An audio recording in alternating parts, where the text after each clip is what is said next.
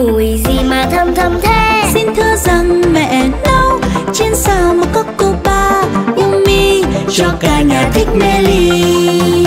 Từ đậu nành thơm nguyên chất cung cấp nguồn bổ dưỡng.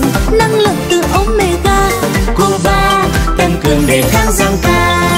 Công nghệ nano đột phá Bộ đôi dầu đậu nành cao cấp cô ba Umi 100%